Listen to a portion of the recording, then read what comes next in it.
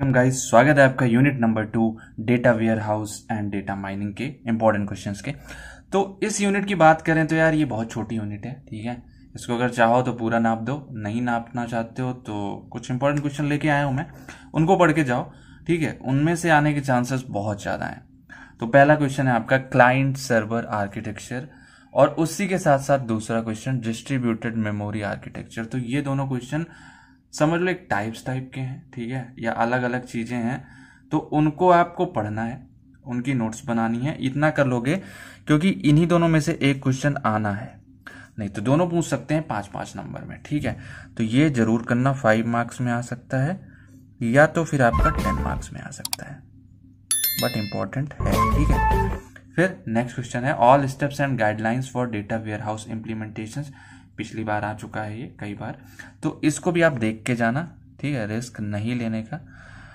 चलिए next question है data warehouse planning ये क्वेश्चन ज़रूर से ज़रूर कर लेना, क्योंकि ये ना आपका पाँच नंबर या दो नंबर में आने वाला है। तो दो नंबर भी देखे जाएगा, बहुत अच्छी बात है भाई, ठीक है। तो ये कर लेना टू मार्क्स या फिर फाइव मार्क्स ठीक।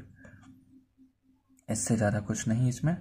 नेक्स्ट आओगे तो hardware and operating systems used in data warehouse इसमें आपके दो हैं, ठीक है? पैरेलल के दो और हो जाते हैं, ठीक है? तो पैरेलल के दो पार्ट और हो जाएँगे तो उनको भी कवर कर लेना प्लस क्लस्टर सिस्टम ये कर लेना, क्योंकि ये इंपॉर्टेंट क्वेश्चन होने वाला है आपका, ठीक है? और साथ ही साथ warehousing software tools with examples इसमें क्या होगा? देखो लॉन्ग में आएगा तो थोड़ा सा आपको परेशानी हो सकती है। बट इतना रखो कि दो मार्क्स में तो ये पक्का है। एक क्वेश्चन आएगा ही आएगा, ठीक है?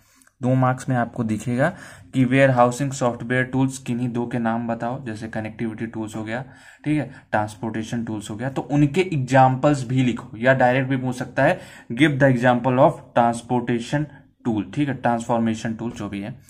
तो ऐसे क्वेश्चन आने वाले हैं इसमें। लॉन्ग में आएगा तो आपको सारे लिखने पड़ेंगे, वहाँ पे आप थोड़ा मुसीबत में आ सकते हैं, बट लॉन्ग में आने वाला नहीं है, ठीक है? तो लॉन्ग में नहीं चिंता करना। हाँ दो तीन याद कर लेना कनेक्टिविटी ट्रांसफॉर्मेशन जो भी ऐसे ऐसे हैं, ठीक है? चलिए, मिलते हैं आपसे यूनिट नंबर थ्री की वीडियो में। तब तक के लिए चैनल को सब्सक्राइब कर देना वीडियो को लाइक करना, और जो भी वीडियो चाहिए आपको नीचे कमेंट सेक्शन में बताओ।